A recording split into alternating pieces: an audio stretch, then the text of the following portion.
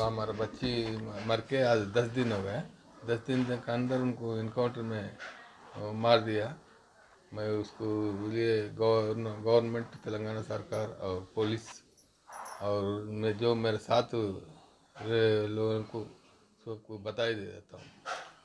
मैं अभी मेरा बच्ची की आत्मा का शांति आता accused have been encountered and i feel very happy for it and i i think this would be an example and nobody will even think of doing it.